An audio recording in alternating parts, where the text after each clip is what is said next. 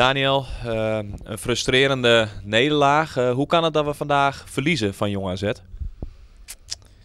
Uh, bepaalde momenten die bepalen de wedstrijden. en wij geven te makkelijk goals weg. dat hebben we heel vaak hersteld. Nu niet. Ja, zoals die laatste ook. één voorzet. Voorzet wordt er niet uitgehaald. een man komt voor onze verdediger. Ja, dan gaat hij erin. Ja. Op een gegeven moment krijg je de deksel op de neus en uh, ja, dat was vandaag. Al vond ik wel, grote gedeelten speelden we goed hoor. Uh, goed aan de bal, uh, kansen.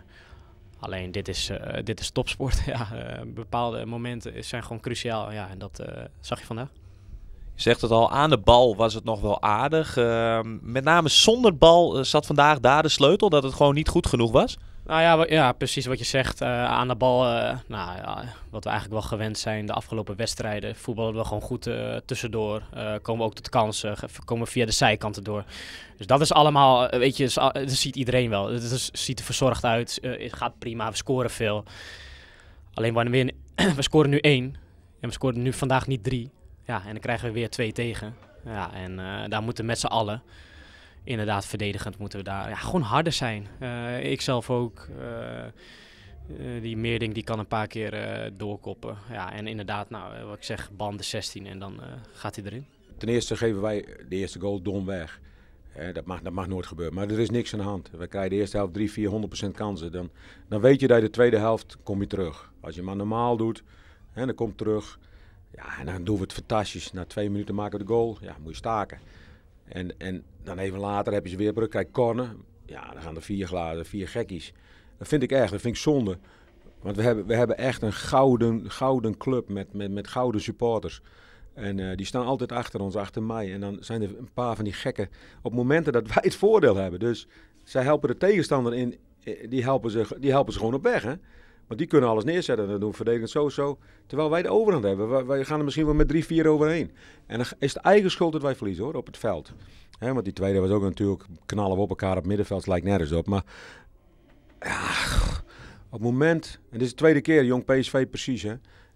2-2, ook die dingen op veld. En, en, en dan verlies je ook. Ja, is echt zonde, echt zonde. Maar we hebben zelf verloren, dus ik trek alles naar onszelf. Maar vanavond hebben we ook als club verloren weet je, eh, het zijn, het zijn er een paar. En ik wil eigenlijk naar binnen lopen. Um, en ik snap dat ik dat misschien ook niet moet doen, maar dat is dan emotie. Uh, maar die... Ik snap ook dat je zegt van ik, we, we mogen er misschien niet te veel over zeggen. Maar het, je moet toch op, op een gegeven moment ook een keer een statement maken. Ja, weet je wat eerst? Kijk, ik kan wel zeggen van de hele tribune, dat is het niet. Het zijn altijd maar een paar. En uh, dat is dan, nou, die, die willen we dan ook uit het stadion uh, weghalen. Maar voor ons, weet je, als speler. Kijk, ik ben, ik ben voetballer. Uh, ik wil, zeker als we lekker erin zitten. Nou, we scoren de 1-1 en we zitten in een flow waarschijnlijk. Ja, dan is het heel, heel irritant. En dan zeg ik dan nog wel netjes dat, uh, ja, dat hij dan met twee keer wordt onderbroken. Als wij zo uit die startblok komen, dan help je maar één partij. Dat is de tegenpartij.